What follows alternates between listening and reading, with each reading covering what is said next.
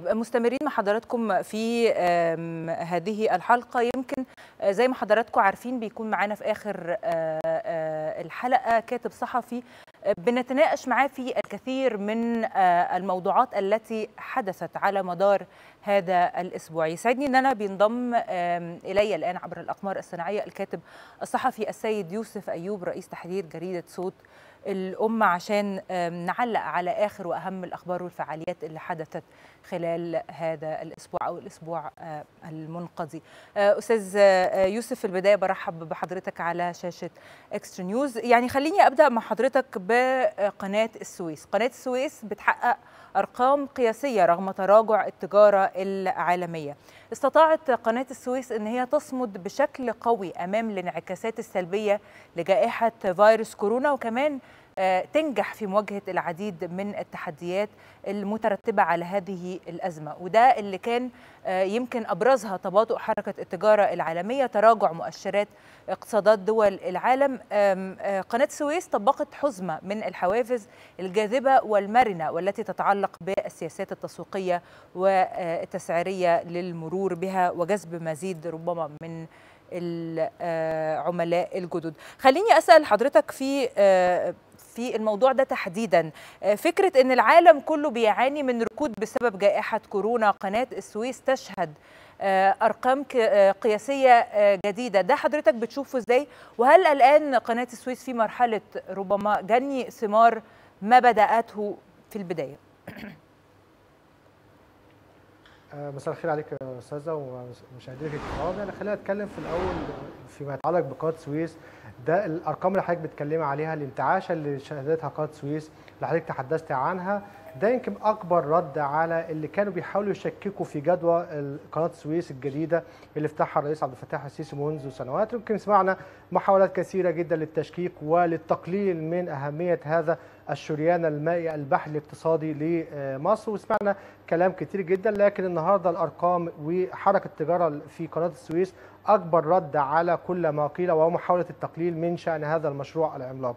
النهارده حضرتك بتتكلمي على نقاط مهمة جدا بتتكلم على تراجع حركة التجارة العالمية وتراجع بنسبة حوالي 10% بتتكلم على أو انكماش في الحركه في الوضع الاقتصادي العالمي.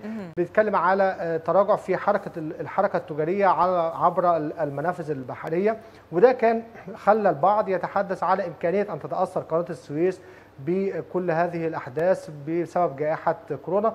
وربما كمان بعض يتحدث على البحث عن بدائل لقناة السويس لكن اللي حصل عكس ده تماما النهارده بيتكلم عن, من خلال إدارة حكيمة من خلال إدارة حكيمة لقناه السويس من خلال مجموعة من الاستراتيجيات ومجموعة من السياسات التسويقية والإستراتيجية اللي تم وضعها من جانب قناة السويس استطاعت أن ترفع مدخول أو دخل هذه دخل القناة على مدى الشهور الماضية بحيث أنها لا تتأثر بالمؤثرات العالمية للوضع الاقتصادي العالمي أو حتى فيما يتعلق بجائحة كورونا وده صحيح. كله بي بي يعني بيرتكل لعدة أسباب زي ما قلت حضرتك عليها صحيح. اولا بيؤكد على الرؤية الاستراتيجية المستقبلية في لقناه السويس عندما تم إنشاء قناة السويس الجديدة، الأمر الثاني هو الإدارة الاسترات... الإدارة التسويقية الجديدة صحيح. العاقلة من جانب القائمين على إدارة قناة السويس التي جعلتها يعني تستطيع أن أن تتجاوز أي أزمة سواء كانت جائحة كورونا أو تراجع معدلات التجارة العالمية. يمكن حضرتك في بداية كلامك قلت إن هو ده يعد الرد الأبرز على كل من شككوا في الموضوع صحيح. المتعلق بقناة السويس في البداية. طب خليني أروح مع حضرتك لخبر تاني. هو في الحقيقة خبر رياضي وتهنئة الرئيس عبد الفتاح السيسي للنادي الأهلي على برونزية كأس العالم للأندية. رئيس يمكن زي ما تابعنا كلنا تقدم بخالص التهنئة لفريق كرة القدم للنادي الأهلي على فوزهم بالمركز الثالث في كأس العالم للأندية وأدائهم المشرف. الرئيس أكد أن الدولة لن تدخر جهدا في دعم ورعاية الرياضة والشباب المصري في كافة الألعاب الجماعية والفردية متمنيا دوام التقدم والنجاح للرياضة المصرية على كافة الأصعدة. زي ما قلت لحضراتكم ده كان في تغريدة على حساب الرئيس عبد الفتاح السيسي أو حسابات الرئيس عبد الفتاح السيسي على مواقع التواصل الاجتماعي. أستاذ يوسف يعني يمكن إحنا امبارح تابعنا مباراة النادي الأهلي مع فريق بالميراس البرازيلي. انتهت طبعا زي ما حضرتك أكيد تابعت والسادة المشاهدين بفوز الأهلي بركلات الترجيح 3-2 وبكده طبعا الأهلي استطاع أن هو يحصد البرونزية واستطاع أيضا إن هو يكرر سيناريو ليس جديد على الأهلي تحت قيادة مانويل جوزيه كان في 2006 يعني حاز أيضا على البرونزية بعد ما فاز على كلوب أمريكا المكسيكي. بشكل عام أستاذ يوسف إزاي حضرتك قيمت أداء الفريق في هذه البطولة ويمكن ثمت الكثير من الرسائل تم إرسالها من قبل فريق الأهلي للمصريين هذه الفرحة التي بعث بها الأهلي المصريين إزاي حضرتك برضو تابعتها؟ خلينا في البداية نقول إن ده يعني فوز الأهلي ببرونزية كأس العالم للأندية. هو ليس انتصارا للنادي الأهلي وجماهير النادي الأهلي ولكنه انتصار للكرة المصرية بشكل عام. لأن النادي الأهلي كان ممثلا للكرة المصرية ولمصر في المونديال العالمي. طبعا تابعنا أداء الفريق. يعني أنا باعتباري مشجع أهلاوي. كان عندي حاله حالة من القلق من أداء النادي خاصة في أمام فريق بايرن ميونخ. لكن كان النتيجة إلى حد ما معقولة متوقعة بالنسبة لينا. في الإطار الثاني كمان إن إحنا بنتكلم على أداء رجولي من جانب اللعيبة. وده على فكرة ممكن نرجعه لمجموعة برضو من الأسباب النهارده. لو نرجع برضو الفترة اللي فاتت وبعض دعوات وقف إيقاف النشاط الرياضي وما نلعبش كورة عشان كورونا ولا ما ذلك لكن النهارده الدولة تحدد كل الكلام ده صحيح. وتم تنظيم بطولة الدوري العام المصري وفق الإجراءات الاحترازية المتفق عليها والملتزم بها كل الأندية تحت إشراف وزارة الصحة. وبالتالي وصلنا إلى إن النادي الأهلي حصل على بطولة أفريقيا النادي الأهلي خاض بطولة خاض ثلاث مباريات مهمة جدا في كأس العالم للأندية استطاع أن يؤدي أداء مشرف في البطوله في بطولة كأس الأندية. ده كله بيؤكد على إن إحنا النهارده المنظومة الرياضية بشكل عام بتسير في شكل أو في اتجاه صحيح, صحيح. وده كمان بينط... بي... بيكمل اللي حصل من أسبوعين شفنا استضافة مصر لكأس العالم كأس العالم لكرة اليد نعم. النجاح الباهر اللي حققته الدولة المصرية في هذه البطولة ده كله ده بيؤكد على إن إحنا المنظومة الرياضية للدوله المصرية بتسير وفق الاستراتيجيات وفق وفق الأمور أو أو وفق خطة أو خريطة النجاح التي تم رسمها وفقا كمان الإجراءات الاحترازية. النهارده آه إحنا كان في كلام على فكرة رياضه نمارس الرياضه لكن فيما بما لا يتعارض مع صحة المصريين. لكن اللي حصل إن الدولة آه سمحت بممارسة الأنشطة الرياضية وده كان ليه تأثير إيجابي على المشاركات الدولية سواء الانديه المصرية زي النادي الأهلي والنهاردة كان نادي الزمالك بيلعب في بطولة أفريقيا أو حتى المشاركات المنتخبات. وفي نفس الوقت الحفاظ على صحة اللاعبين اولا والجماهير اولا. دي كانت المعادلة الصعبة اللي استطاعت الدولة المصرية عن. حق بتحقيقها وده كان يعني كان محل تقدير ومحل إشادة من كل الأوساط الرياضية. زي ما قلت لحضرتك مؤخرا في كاس العالم لكرة اليد كان محل إشادة كبيرة جدا من الاتحاد الدولي لكرة اليد ومن المنتخبات. وده كله ده بيؤكد على نجاح المنظومة الرياضية في الدولة المصرية اخذا بالإجراءات الاحترازية اللي بتحمي اللاعبين وتحمي كل الجميع من فيروس كورونا. طيب أستاذ يوسف خليني أنتقل مع حضرتك يعني لموضوع إذا تحدثنا عن الأسبوع المنقضي هنقول ده موضوع الساعة. وهو المتعلق بالفصائل الفلسطينية والحوار الوطني في القاهرة برعاية مصرية. يمكن الفصائل المصرية شكرت الرئيس عبد الفتاح السيسي على الدعم المصري وتوجهت الفصائل بعد انتهاء اجتماعات الحوار الوطني الفلسطيني بالقاهرة. بالشكر للرئيس عبد الفتاح السيسي على دعمه ورعايته للحوار الوطني الفلسطيني. وجهت مصر دعوة للفصائل الفلسطينية ورئاسة المجلس الوطني لمنظمة التحرير ولجنة الانتخابات لعقد اجتماع في البلاد وذلك في شهر مارس المقبل.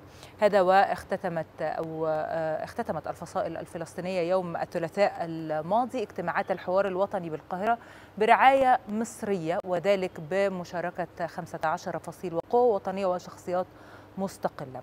حيث قدمت جميع الفصائل شكرها للرئيس عبد الفتاح السيسي على دعم ورعاية مصر للقضية الفلسطينية مثمنين جهود مصر وتضحياتها المستمرة لتحقيق تطلعات وأمال الشعب الفلسطيني. كمان أكدوا على حرصهم على تحقيق الوحدة الفلسطينية والشراكة الوطنية. يمكن جه أستاذ يوسف في سياق هذا الخبر أو حضرتك أكيد تعلم إن حوار الفصائل الفلسطينية اختتم يوم أو مساء يوم الثلاثاء. اليوم وبعد مرور ثلاثة أيام ربما الصورة اكتملت بشكل عام. يمكن حضرتك والجميع اطلع على البيان الختامي لهذه لهذا الحوار بين الفصائل الفلسطينية برعاية مصرية. هل نستطيع القول أن ربما الإشارات بدأت تشير لأن ما خرج من هذه الاجتماعات في اتجاه الدخول إلى حيز التنفيذ بشكل أو بآخر؟ ده بالتأكيد. يعني ما حدث في حوار الحوار الوطني الفلسطيني في القاهرة على مدار يومي الاثنين والثلاثاء الماضي هو بالتأكيد هو خطوة إيجابية نحو تحقيق الوئام الفلسطيني الداخلي ومواجهة الانقسام اللي إحنا اللي بتعاني منه القضية الفلسطينية، القضية الفلسطينية في هذه الفترة بتمر بمرحلة عصيبة جدا. شايفين ما تح... المفاوضات المتوقفة وفي صفقة القرن والكثير من الأمور وبالتالي كان يجب أن يكون هناك تحرك من جانب الدولة المصرية الحريصة دوما على مصلحة الشعب الفلسطيني في محاولة لإنهاء الانقسام الفلسطيني وده بيكون بمجموعة من الخطوات وكانت الخطوة الأولى في الاجتماع الذي عقد في القاهره الأسبوع الماضي واللي كان مركز بشكل كبير على إجراء الانتخابات. خليني أقول لحضرتك ان ال ال ال هذا هذه الاجتماعات بتؤكد للجميع مرة أخرى على أن مصر تقف على مسافة واحدة صحيح. من جميع الفلسطينيين الفلسطينية صحيح. أن مصر لا هدف لها في فلسطين سوى تحقيق الأمن والاستقرار ودعم القضية الفلسطينية مصر على مدار تاريخها قدمت كثير جدا للقضية الفلسطينية والشعب الفلسطيني يدرك ذلك جيدا وده كان واضح كمان من تصريحات كل الفصائل الفلسطينية التي شاركت في حوار القاهرة بأنها يعني توجهت بالشكر بجزيل الشكر للدولة المصرية وللرئيس عبد الفتاح السيسي على هذه الرعاية الكريمة والاستضافة وتوفير كل الأجواء الإيجابية التي تمكن التي مكنت جميع الفصائل التي كانت مجتمعة إلى الخطوة طيب الإيجابية أستاذ يوسف في هذه النقطة تحديدا يعني يمكن حضرتك ذكرت كلمة الأشقاء كثيرا.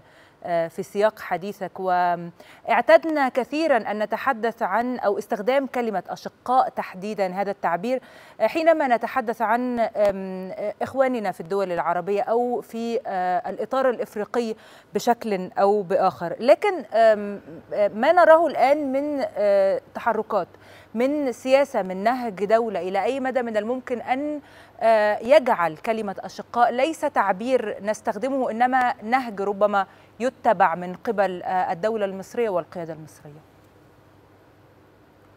يعني خليني أقول لحضرتك حاجة يعني فك مصر تتعامل مع كل القضايا العربية وكل العرب إنهم أشقاء للدولة المصرية. وزي ما قلت لحضرتك ان إن موقف مصر ليس فقط تجاه فلسطين ولكن كل تجاه القضايا والأزمات العربية في ليبيا وفي سوريا وفي اليمن وفي العديد من من الأزمات والقضايا العربية تتعامل بمنطق واحد هو الوقوف الوقوف على مسافة واحدة من جميع الأشقاء العرب.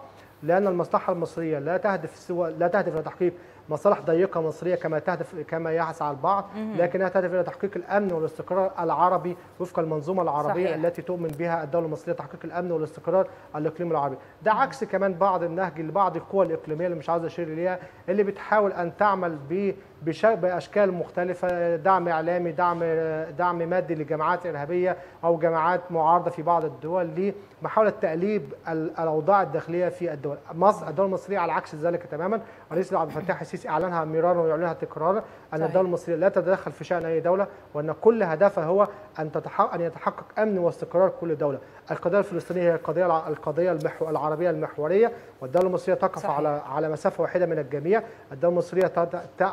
يعني تقف بجانب دعم الشعب الفلسطيني ايا كان توجهاته لأن هدفنا هو حل هذه القضية وتحقيق أمن واستقرار الدولة الفلسطينية صحيح. هذا هو أيضا طيب هدف الدولة أستاذ يوسف يعني عفوا للمقاطعه ولكن دعني أتطرق معك إلى ملف آخر وموضوع آخر وهو يعني يعني نهتم كثيرا بالداخل المصري.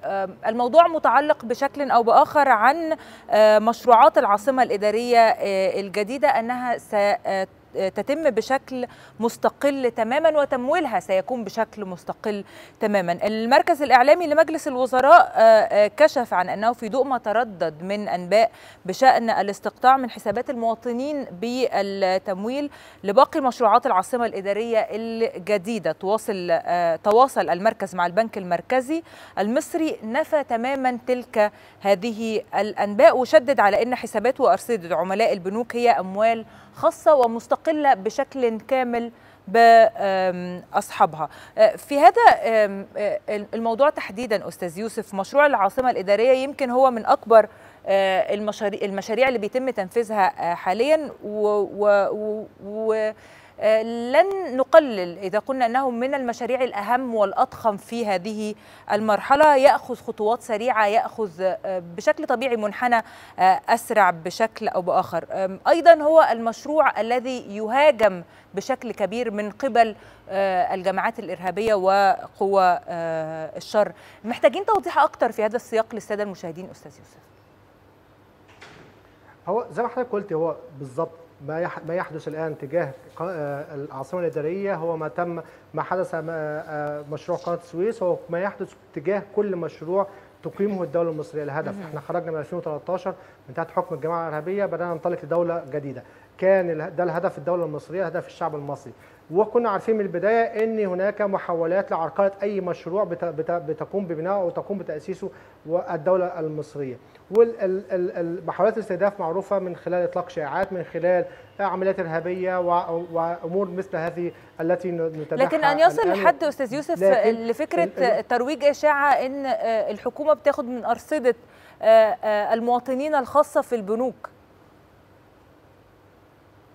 بص هي هي يعني هي اشاعات ترديد اشاعات هي غير منطقية وغير معقولة. صحيح. يعني النهارده بتكلم على النهارده الحسابات المصريين موجودة في البنك لم يدار أي مصري من استقطاع أجزاء من حساباته. وبالتالي النهارده لما طلع حتى أصبحوا حتى فاشلين في إطلاق الشائعات يعني ده ده فشل إفلاس في إطلاق الشائعات المصريين النهارده في نسبة كبيرة جدا من المصريين موجود حساباتهم في في البنوك ولهم حسابات في البنوك. لم يشتكي أحد من انه حدث استقطاع من حساباته للعاصمة الإدارية أو لأي مشروعات أخرى. وبالتالي حتى صحيح. هم وصلوا في مرحلة الإفلاس ومرحلة إلى والى إطلاق شائعات ليس لها أساس من, من الوجود. وحتى يعني المصريين نفسهم مش محتاجين أي توضيح لأن هم هي هي شائعه تكذب نفسها. طيب أستاذ يوسف أنا عايزة سريعا أناقش مع حضرتك آخر موضوع في حلقة اليوم وهو عن فحص 102 مليون طفل في إطار مبادرة الرئيس للكشف عن ضعاف السمع. كشفت وزارة الصحة والسكان عن فحص مليون 298 ألف و95 طفل في مبادرة رئيس الجمهورية لاكتشاف وعلاج ضعف وفقدان السمع للأطفال حديثي الولاده. اهتمام الدولة بهذه الفئة اهتمام الدولة بحديثي الولادة. هل إلى أي مدى ده بيعكس قرب أو أو النهج الجديد اللي بقت بتتبعه الدولة وقرب الدولة بربما أهالينا أو مواطني مصر. ده صحيح ده بيأتي في إطار ال ال ال العبارة الأشمل اللي بتكون اللي, بي اللي وضعها الرئيس عبد الفتاح السيسي اللي هي حياة كريمة لكل المصريين. حياة كريمة بتشمل كل المصريين شباب نشء كبار سيدات رجال أطفال.